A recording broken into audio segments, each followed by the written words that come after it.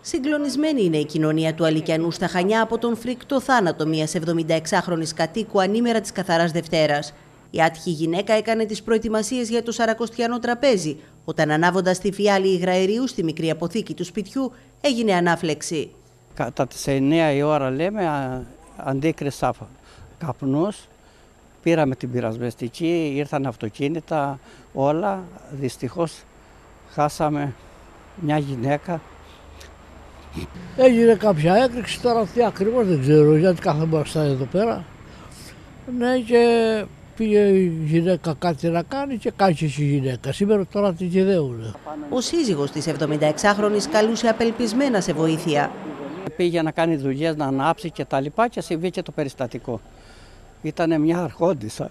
Και ο σύζυγός της ήταν μαζί; Φώναζε, ούρλιαζε. Όταν έφτασε στο σημείο δύναμη της πυροσβεστικής υπηρεσίας και ασθενοφόρο, ήταν ήδη αργά για την άτυχη ηλικιωμένη. Αυτό ήταν από τα σπάνια σπάνιο. Δεν είχε ξαναγίνει τέτοιο, τέτοια περίπτωση να πάρει φωτιά στο σπίτι και να καούν τα εργαλεία που ήταν, τα πυρομάχια που είχε μέσα στο σπίτι της. Από την αρχή έγινε το κακό. Δηλαδή ήρθαν οι πυρασβεστικοί, δεν λέμε ότι καθυστέρησε τρία αμάξια, αλλά δυστυχώς το κακό είχε γίνει.